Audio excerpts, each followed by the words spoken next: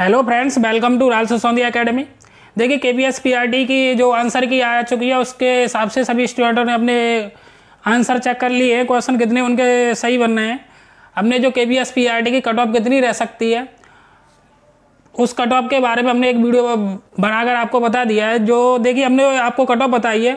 Cut off उसी range में रहने की संभावना है। अगर आपने कट ऑफ़ वाला वीडियो नहीं देखा है तो चैनल पर जाके आप कट ऑफ़ वाला वीडियो देख सकते हैं। देखिए, इस वाले वीडियो में हम आपको बताएँगे कि कट ऑफ़ के बाद में जो आपका इंटरव्यू के लिए कट ऑफ़ आएगी, उसके बाद इंटरव्यू जो कि इसमें दो पार्ट है, वो आपको किस प्रकार इफेक्टेड करेगा? स्टूडेंटों के कम मार्क्स बन रहे हैं, वो डिमोटिवेट हो रहे हैं, लेकिन उन्हें डिमोटिवेट होने की ज़रूरत नहीं है, क्योंकि जिनके कम मार्क्स हैं, मान के चलिए कि हम यहाँ पर आपको एक एग्ज़ाम्पल के थ्रू समझाएँगे कि आपके जो इंटरव्यू और डैम हुआ उसका बहुत बड़ा रोल है।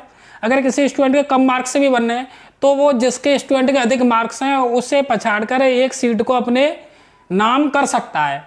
तो इसमें हम देखो एग्ज़ाम्पल के थ्रू आपको समझाएँगे। आप वीडियो को अंत तक देखें, जिससे कि आपको जो सेकंड स्टेज है इस एग्ज़ाम की, जो कि इसमें डेमो प्लस इंटरव्यू होना है, उसका कितना बड़ा रोल है, वो आपको बिल्कुल ही एक टू द पॉइंट समझ में आएगा। चलिए तो देखते हैं फिर। देखिए, पहला पॉइंट जो कि हमने कट ऑफ़ के बारे में हमको बता दिया रिटर्न टेस्ट जो सीबीटी हुआ था, वो कितने का हुआ था? आपका 180 मार्क्स का हुआ था।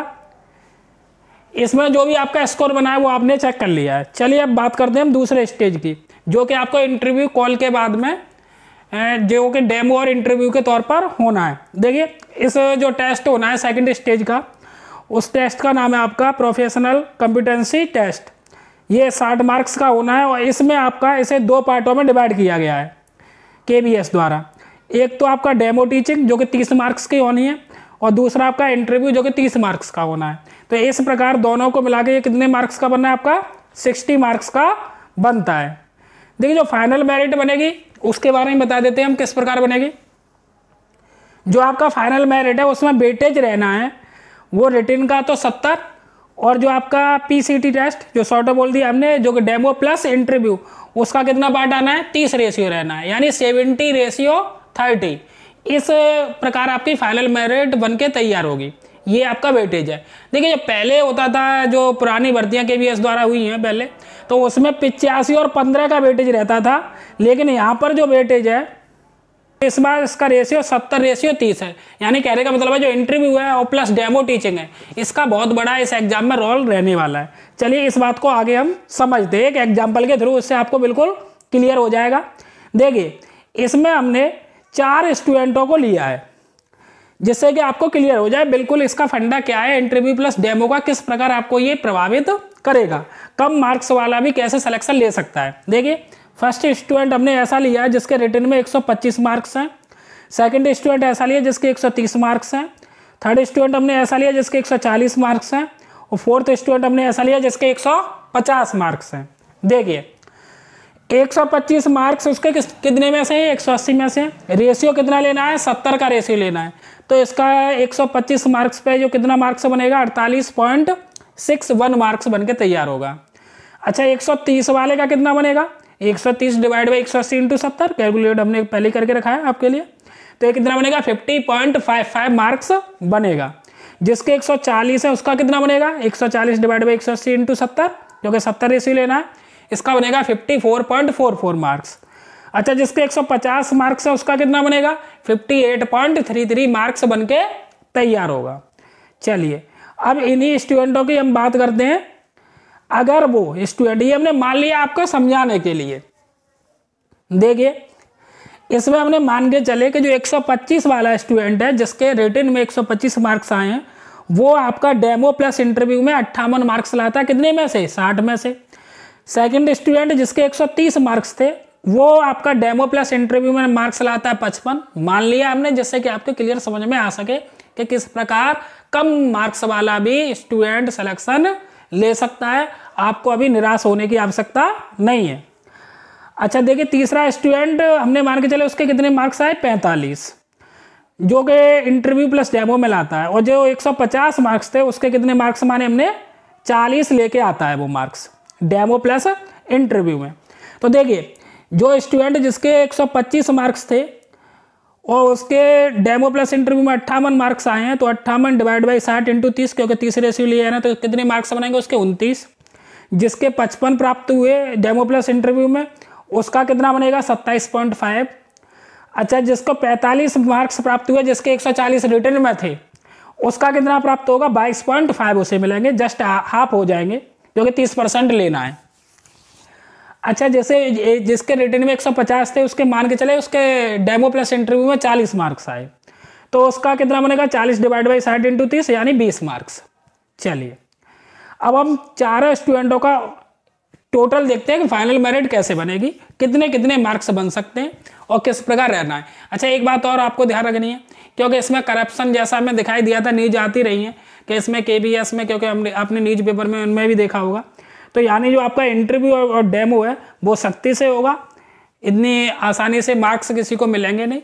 तो इस प्रकार आप निश्चिंत रहें कि जो करप्शन वाले हैं, उन्हें डेमो प्लस इंटरव्यू भी देना होगा। चलिए, देखते हैं। क्योंकि उसमें तो अब कुछ हो नहीं सकता है, लेकिन वो इंटरव्यू और डेमो होना है, उसमें उनकी छटनी आसानी से हो सकती है। चलिए देखते हैं फाइनल मेरिट तो फाइनल मेरिट में 125 मार्क्स थे उसके रिटर्न में, और उसके अट्ठावन मार्क्स यदि वो प्राप्त कर लेता है डेमो प्लस इंटरव्यू में, उसके अकॉर्डिंग उसे कितने मिलते हैं? उनतीस, उधर कितना मिलता है? सेवेंटी के रेशियो के अकॉर्डिंग अड़तालीस पॉइंट सिक्स वन। इस प्रकार कितने मार्क्स बनेंगे? अड़तालीस पॉइंट सिक्स वन, पहले स्टूडेंट की बात हो रही है जिसके एक सौ पच्चीस है प्लस उनतीस। यानी कितने मार्क्स बने? Seventy seven point six one, जिसके एक सौ पच्चीस रिटर्न में थे। अट्ठावन अगर वो इंटरव्यू में ले आता है तो उसके सेवेंटी सेवन पॉइंट सिक्स बनेंगे। अच्छा देखिए, जिसके स्टूडेंट के 130 मार्क्स थे रिटर्न में, और जो डेमो प्लस इंटरव्यू में पचपन लाता है, उसके कितने बने? सत्ताईस पॉइंट फाइव, सत्ताईस पॉइंट फाइव और फिफ्टी पॉइंट फाइव फाइव जोड़े तो उसका स्कोर कितना बन के तैयार होगा, seventy eight point zero five. और इसका कितना एक सौ पच्चीस वाले का? सतहत्तर पॉइंट सिक्स वन। चलिए, आगे देखते हैं। जो एक सौ चालीस मार्क्स वाला, जो तीसरा स्टूडेंट था उसके रिटर्न में कितने बने थे? चौवन पॉइंट फोर फोर। और उसका, क्योंकि वो 45 मार्क्स लाया था किसमें डेमो प्लस इंटरव्यू में। तो उसमें कितने बने थे आपके? 22.5 तो हम 22.5 और चौवन पॉइंट फाइव फाइव को जोड़ते हैं तो तीसरा वाला स्टूडेंट कितने मार्क्स लाता? है seventy seven point zero five. यानी seventy seven point zero five उसके तीसरे वाले के बनते हैं। अच्छा बात करते हैं फोर्थ वाले स्टूडेंट की। रिटर्न में मार्क्स कितने थे उसके? एक सौ पचास। हमने उसका रेशियो निकाला था सेवेंटी रेशियो कितना बना था? Fifty eight point three three अच्छा डेमो में कितना लाया वो? चालीस मार्क्स तो कितना बना था? बीस। और fifty eight point three three और बीस को हम जोड़ते हैं तो ये टोटल बनता है आपका seventy eight point three three अब देखिए, हमने यहाँ पे चार स्टूडेंटों के मार्क्स निकाले। पहला स्टूडेंट है, ये दूसरा स्टूडेंट है, ये तीसरा स्टूडेंट है, और ये चौथा स्टूडेंट है। इसके मार्क्स थे 125 रिटर्न में इसके मार्क्स थे 130 रिटर्न में, और इसके मार्क्स थे 140 रिटर्न में, और इसके मार्क्स थे 150 रिटर्न में। अब इनका आप मार्क्स देखोगे तो देखिए इसके 77.6 है 78.05 है, और इसके 77.5 है, और इसका 78.33 है। इसमें आप देख सकते हैं कि 140 वाले का 77.5 बनना है, जबकि 130 वाले का 78.05 बनना है। कहने का मतलब है 140 वाले का सिलेक्शन नहीं हुआ 130 वाले का सिलेक्शन हो गया है। ऐसे ही आप देखिए, इसके बनने 77.61 किसके? जिसके 125 मार्क्स हैं। और 140 वाले के कितने बने? 77.5 के समथिंग और जब किसका बनना है 77.61 यानी 140 वाले का सिलेक्शन नहीं हुआ 125 वाले का सिलेक्शन हो गया है। 150 वाले की बात कर लेते हैं। इसका स्कोर बना था 78.33 और 130 वाले का स्कोर बना था 78.05 यानी पॉइंट टू एट का अंतर रहता है 150 130 वाले में भी।